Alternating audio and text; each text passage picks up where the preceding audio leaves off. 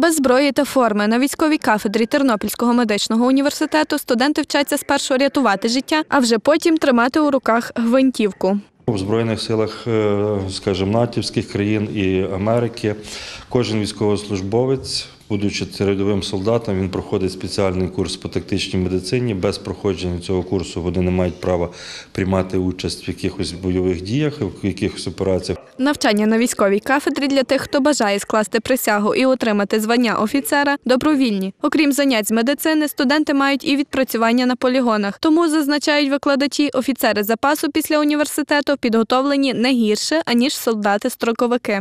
Ми готуємо офіцерів запасу не тільки для Збройних сил України, а для інших силових структур, таких як, наприклад, Національна гвардія України, Державна прикордонна служба, е, служба Державна служба транспорту. Студенти медичного вже не раз брали участь у воєнних діях на сході України та навіть навчали військових. На сході бувало багато наших випускників. Ще коли з моменту початку АТО ми наша кафедра готувала е, ем, громадську організацію Білі берети і правий сектор.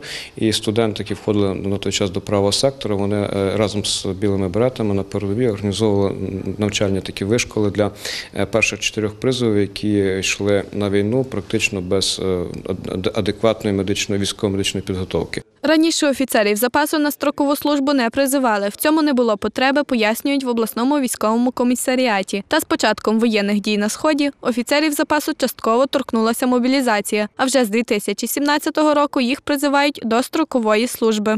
Це вже не перший раз, це ну, з 17-го року весною і восени. Е, Офіцери запасу, які е, пройшли військові кафедри, отримали первинні військові звання. Відповідно до е, наказу міністра оборони призиваються на військову службу. Офіцери, яких призиватимуть на строкову службу, розповідає Сергій Матлашевський, матимуть всі соціальні гарантії на рівні з діючими офіцерами та офіцерами, які проходять військову службу за контрактом. Кого саме призиватимуть, вирішує Міністерство оборони. Були періоди, що медиків взагалі не призивали. Був період, що призивали практично одних медиків. Це залежить від того, які офіцери, які спеціальності потрібні Збройним силам України на даний час. Служитимуть офіцери запасу, як і звичайні призовники, 18 місяців. На схід в зону операції об'єднаних сил відправляти їх не будуть. Вони направляються в небойові частини в основному. От, е, в зону проведення операції об'єднаних сил вони не направляються. Е, Можливість, скажімо так, прийняти участь в операції об'єднаних сил у них є.